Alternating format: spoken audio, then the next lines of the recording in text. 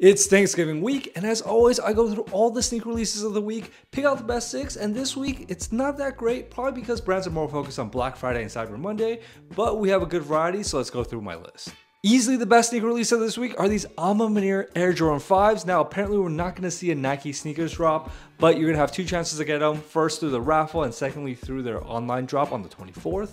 This rarely happens, but we have two Korean collaborations this week. This is Kasina's Samba, part of the Consortium Cup pack. We also have Korean shop Unaffected dropping three colorways of the Asics Gel Kayano 14. Australian shop Up There is releasing their New Balance 1906, and it's pretty straightforward. The nickname's Black Friday, releasing on Black Friday.